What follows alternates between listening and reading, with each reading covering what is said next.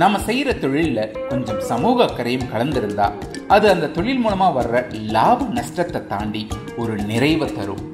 அப்படி நாங்கள் பார்த்த ஒரு கேட்ரிங் தொழில் தான் மதுரை வில்லாபுரம் ஹவுசிங் போர்ட் பகுதியில் திரு சதாம் ஹுசேன் மற்றும் அவரது இரு நண்பர்கள் சேர்ந்து நடத்துகிற ஃபாத்திமா கேட்ரிங். பசியில் வாடுற மக்களுக்கு அன்னதானம் செய்ய விரும்புகிறவங்களுக்கு இவங்க கேட்ரிங் மூலமாக சமைச்சு அதை மலிவான விலையில் உரிய மக்களுக்கு கொண்டு போய் உணவை சேர்க்குறாங்க.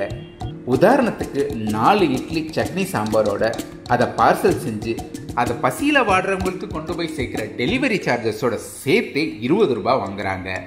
இந்த காலத்தில் சில உணவு டெலிவரி ஆப்களில் டெலிவரி சார்ஜ் ஐம்பது நூறுன்னு வாங்கும் பொழுது இருபது ரூபாய்க்கு பசியை போக்குற இவங்க சேவை பாராட்டுக்குரியது. இப்போ நிறைய பேர் பார்த்தீங்கன்னா அவங்களுக்கு வந்து கொடுக்கணும் மனப்பான்மை கண்டிப்பாக இருக்கும். அவங்கள எது தடுக்குதுன்னா அவங்க சூழ்நிலையும் டைமும் தான் தடுக்குது. எனக்கு கொடுக்க டைம் இல்லை. எனக்கு வந்து இப்போ எங்கே போய் வாங்குறது? எப்படி தரமான சாப்பாடு வாங்குறது? கொடுத்தா அந்த சாப்பாடு சரியாக இருக்குமா? நிறையா கேள்விகள் இருக்கும்.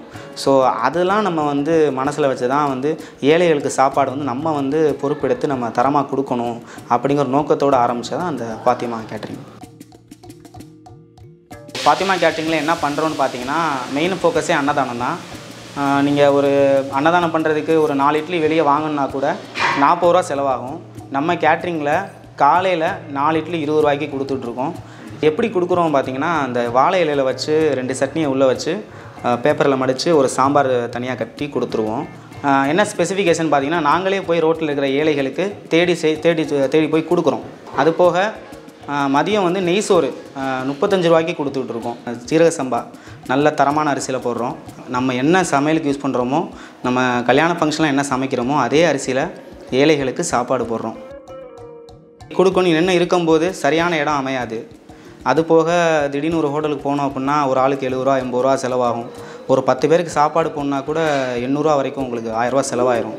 ஸோ நம்ம வீட்டில் நம்ம வீட்டு சமையலில் பண்ணுறோம் அதில் பார்த்தீங்கன்னா ஒரு ஆளுக்கு வெறும் முப்பத்தஞ்சு ரூபாவில் நெய் சோறு போடுறோம்.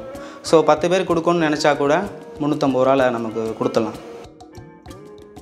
இப்போ தான தர்மங்கிறது நம்ம வந்து யாருக்கு கொடுக்குறோங்கிறது ரொம்ப முக்கியம். ஸோ இதில் நம்ம எப்படி தனித்துவமாக இருக்கோம் அப்படின்னா ரோட்டில் ஏழைகள் இருப்பாங்க. நம்ம பார்த்தாலே தெரியும். இப்போ குப்பை அள்ளிக்கிட்டு இருப்பாங்க. அவங்க வந்து ரொம்ப கஷ்டப்பட்டுட்டு இருப்பாங்க. சில பேர் வந்து பசியில் வந்து ஓரமாக உட்காந்துருப்பாங்க நடக்கவே முடியாமல் இருப்பாங்க. சில பேர் கால் ஊனமாக ஒரு குடிசை வீட்டில் உட்காந்துருப்பாங்க அந்த மாதிரி தேடி போய் நம்ம கொடுத்துட்ருக்கோம். ஒரே இடத்துல நிறைய பேருக்கு கொடுக்காம நம்ம தேடி போய் கொடுக்கும்போது நமக்கு கொடுத்த ஒரு திருப்தி கிடைக்கிது. இப்போ நம்ம கேட்ரிங்கில் பார்த்தீங்கன்னா இந்த மாதிரி அன்னதானம் கொடுக்கறதுக்கு மெயினாக லாப நோக்கம் ரொம்ப அதிகமாக இல்லாமல் குறைஞ்ச ப்ராஃபிட்டில் பண்ணிக்கிட்டு இருக்கோம்.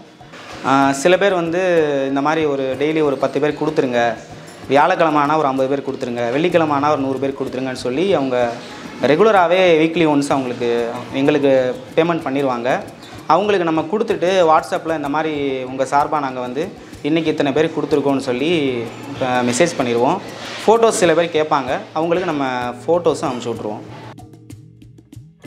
ஃபாரினில் இருக்கவங்கலாம் பார்த்தீங்கன்னா நம்ம லோக்கலில் நம்ம சொந்தக்காரங்க இருக்கிற இடத்துல ஏழைகள் கொடுக்கணும்னு நினைப்பாங்க. அவங்களுக்கெல்லாம் நம்ம வந்து இங்கே லோக்கலில் கொடுத்துட்ருக்கோம். நம்ம ஃப்ரெண்ட்ஸ் மூணு பேர் சேர்ந்து அந்த இது பிஸ்னஸ் ஸ்டார்ட் பண்ணது. இப்போ ஒரு நூறு பேருக்கு அவங்க பணம் போட்டு விட்றாங்க அப்படின்னா நூறு பேரும் ஒரே ஆள் நம்ம கொடுக்க மாட்டோம். பிரிஞ்சு பிரிஞ்சு ஒரு முப்பது முப்பது சாப்பாடு பிரிச்சுட்டு தனித்தனியாக போய் கொடுத்துருவோம். நானும் எங்கள் ஃப்ரெண்ட்ஸ் ரெண்டு பேரும் சேர்ந்து தான் பண்ணிகிட்டு இருக்கோம். மொத்தம் மூணு பேர் சேர்ந்து பண்ணிக்கிட்டு இருக்கோம். அவங்களும் பெரிய கம்பெனியில் வேலை பார்த்தவங்க தான். அந்த வேலையை விட்டுட்டு நம்ம ஒரு ஹோட்டல் ஆரம்பித்து கேட்ரிங் பண்ணணும்னு ஆரம்பித்து பண்ணது தான் இது. ஸோ இந்த மூணு பேர் சேர்ந்து தான் பண்ணிக்கிட்டு இருக்கோம். நம்ம பிஸ்னஸில் பார்த்தீங்கன்னா சர்வீஸ் ஓரியன்ட் நிறையா இருக்கும்னு நினச்சேன். ப்ராஃபிட்டுங்கிறது இன்றைக்கி வரும் நாளைக்கு போகும். நல்ல மக்களை நம்ம சம்பாதிக்கணும். நிறையா பேருக்கு ஏழைகளுக்கு வந்து சாப்பாடு அவங்க வயிறார கொடுக்கணும்னு ஒரு எண்ணம் இருந்துச்சு. அதனால் இந்த பிஸ்னஸ் ஸ்டார்ட் பண்ணியிருக்கேன்.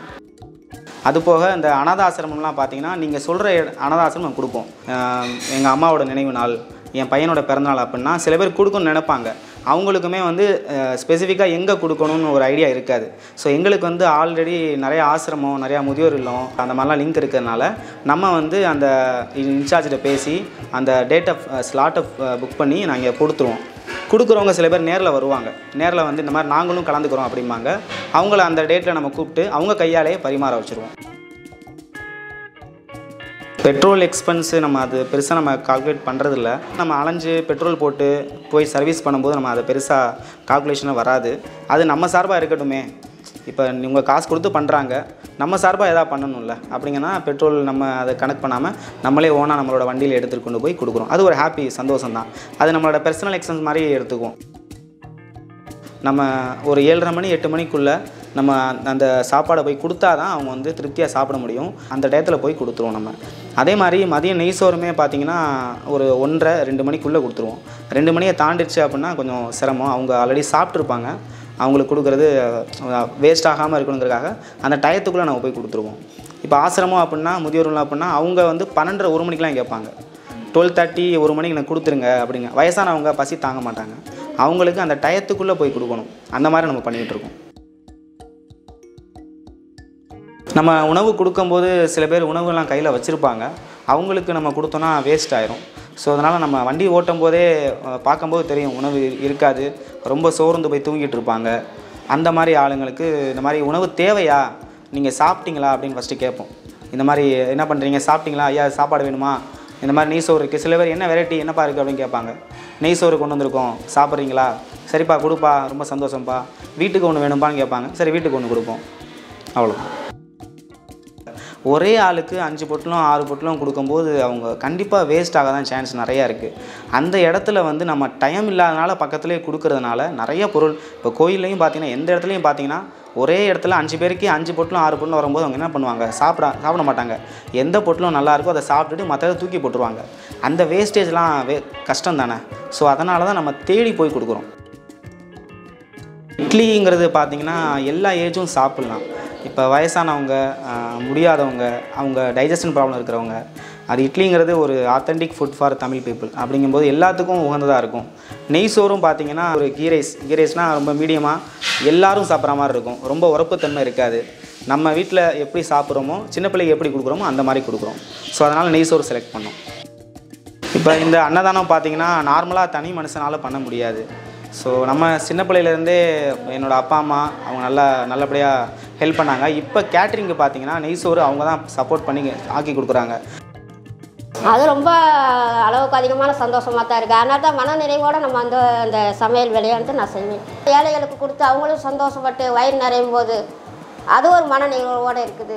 ஏன்னா ஒரு காலத்தில் நாங்கள் வந்து கஷ்டப்பட்டவங்க தான். அது வந்து அது எனக்கு தெரியும். அதனால தான் நம்ம கஷ்டப்பட்டு அந்த பசியோட இது அறிஞ்சவங்களுக்கு வந்து வந்து அடுத்தவங்க சமை சாப்பிடும்போது அந்த சந்தோஷம் வந்து நமக்கு மன நிறைவாக இருக்குது அப்பா அம்மா அவங்க வந்து எவ்வளோ ஆர்டர்னாலும் ஒரு இரநூறு பேருக்கோ முந்நூறு பேருக்கோ நானூறு பேருக்கோ அந்த டேஸ்ட் மாறாமல் ஒரே டேஸ்ட்டில் பண்ணி கொடுக்குறாங்க. அவங்களோட சப்போர்ட் இருக்கிறது எனக்கு ஒரு பெரிய பலம் தான் பிள்ளைங்க தலையெடுத்து வரும்போது இல்லாதவங்களுக்கு ஏழைகளுக்கு நம்மளால் முடிஞ்ச செய்யணும் அப்படின்னு நினைப்பேன். அது இது மூலயமா ஒரு வாய்ப்பு வந்ததுல வந்து எனக்கு ரொம்ப சந்தோஷம். ஏன்னா என்னைக்காவது கொடுக்குறத விட டெய்லி நம்ம நம்ம சாப்பாடு கொடுக்குறோம் பார்த்தீங்களா? அது ஒரு இன்னும் கொஞ்சம் மன நிறைவோடு இருக்குது. இப்போ நெய்சோறு வந்து நம்ம கடையிலையும் நம்ம சேல்ஸ் பண்ணுறோம் இப்போ நம்ம கேட்ரிங்கில் வந்து அன்னதானம் மட்டும் கொடுக்கல. அது போக சேல்ஸ் பண்ணால் தான் அதில் கொஞ்சம் ப்ராஃபிட் நம்ம எடுக்க முடியும். மெயினாக நம்ம கடையிலையும் மதியம் நெய்சோறு ஒரு ஷார்ட் டைமில் சேல்ஸ் பண்ணி முடிச்சிருவோம். கடை வந்து மதுரையில் வில்லாபுரம் ஹவுசிங் போர்டில் லிட்டில் டைமண்ட் ஸ்கூல் சந்துக்கு ஆப்போசிட் சந்தில் கடைசியில் இருக்குது உள்ளே இருக்குது ஃபாத்திமா தோசை கார்னர் அப்படிங்கிற பேரில் வச்சுருக்கோம். அங்கே வந்து நம்ம நெய் சோறு நம்ம சேல்ஸ் பண்ணிகிட்ருக்கோம் மதியம் வந்து ஒரு நெய் சோறு ஐம்பது ரூபா. முட்டை வச்சு அப்படின்னா அறுபது ரூபா வரும். சேல்ஸுக்கு நான் சொல்கிறேன் அன்னதானம் தவிர்த்து நம்ம ரெகுலராக கேட்ரிங் ஆர்டரும் எடுத்து பண்ணிக்கிட்டு இருக்கோம். கல்யாண ஆர்டருக்கு இந்த மாதிரி பிரியாணி சமைக்கிறது ஆஹ் நெய் சோறு ஆர்டர் எடுத்து பண்ணுறோம் எல்லா வகையான சமையலும் நம்ம பண்ணிக்கிட்டு இருக்கோம். அன்னதானம் பண்ணுறோம் அது ஒரு சைடு இருக்கும். அது போக நம்ம கடையில் வந்து நிறையா விஷயங்கள் பண்ணுறோம் காலையில் ஒரு மூணே காலிலேருந்தே நம்ம வந்து சமையல் ஸ்டார்ட் ஆயிரும். நவதானிய சுண்டல்னு சொல்லி நம்ம ஒன்பது வகையான பயிரை அவிச்சு வந்து முப்பத்தி அஞ்சு கடைக்கு சப்ளை பண்ணுறோம் ஒரு ஹெல்த்தியான ஃபுட்டு அது போக எனர்ஜி பீடான்னு வந்து பாதாம் முந்திரி குல்கந்தெலாம் போட்டு கல்யாண ஃபங்க்ஷனுக்கு நம்ம சப்ளை பண்ணுறோம் வெத்தலை இல்லாத பீடா. அது பொண்ணு மாப்பிள்ளை பேர் போட்டு நம்ம ஒரு ஆயிரம் பீடா ரெண்டாயிரம் பீடா அந்த மாதிரி நம்ம சப்ளை பண்ணி அதுலேருந்து ஒரு பிஸ்னஸ் பண்ணிக்கிட்டு இருக்கோம். நைட்டு வந்து தோசை கடை. நைட்டு வந்து அறுபது வகையான தோசை வந்து நம்ம வந்து பண்ணிக்கிட்டு இருக்கோம். இதுக்காக ஒரு நம்ம கேட்ரிங்கில் பார்த்தா ஒரு பன்னெண்டு பேர் ஒர்க் பண்ணுறாங்க மே மேஜராக பார்த்தீங்கன்னா எல்லாருமே வீட்டு சமையல் தான். இந்த வெளியிலேருந்து ஒரு ஆள் எடுத்து நம்ம தனியாக சமைக்கிறது இது இல்லை. நம்ம பார்ட்னர்ஸ் இருக்காங்களே மூணு பேர். அவங்க வீட்லேயும் லேடிஸ் இருக்காங்க. அவங்க வந்து சில masala items chicken kurma chicken gravy அந்த மாதிரி எல்லாருமே வீட்டில் ஷேர் பண்ணி பண்ணனால பிஸ்னஸும் அன்னதானமும் நமக்கு இதில் தான் மேனேஜ் பண்ண முடியுது.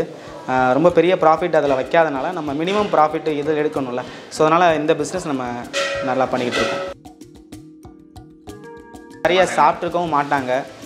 அவங்க சாப்பாடு கொடுக்கும்போது நமக்கு ரொம்ப சந்தோஷமாக இருக்கும்.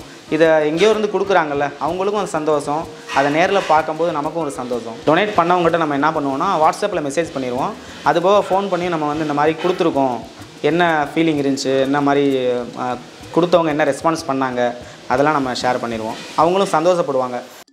இந்த வீடியோ பார்க்குறவங்க சப்போஸ் அன்னதானம் பண்ணணும்னு நினச்சிங்கன்னா ஒரு நாள் முன்னாடி சொன்னால் போதும். இப்போ நாளைக்கு வந்து காலையில் எனக்கு வந்து ஒரு பத்து பேருக்கோ ஒரு ஐம்பது பேருக்கோ நூறு பேருக்கோ கொடுக்கணும்னு நினச்சிங்கன்னா நீங்கள் முத நாள் காலையில் சொல்லிட்டீங்க அப்படின்னா நம்ம வந்து ப்ரிப்பேர் பண்ணிடுவோம். எல்லாமே ப்ரிப்பேர் பண்ணி ரெடியாக வச்சுருவோம்.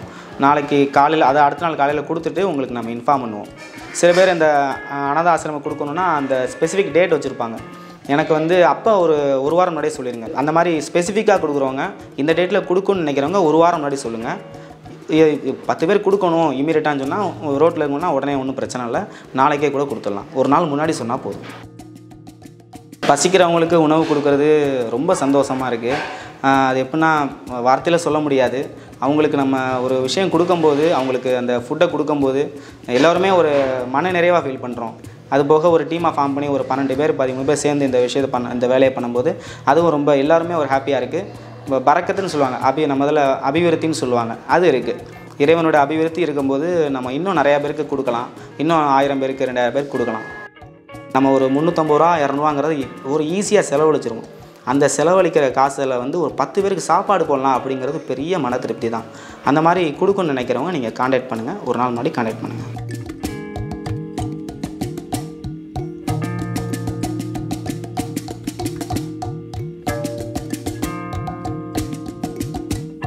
என்னங்க இந்த வீடியோ உங்களுக்கு பிடிச்சிருந்ததா?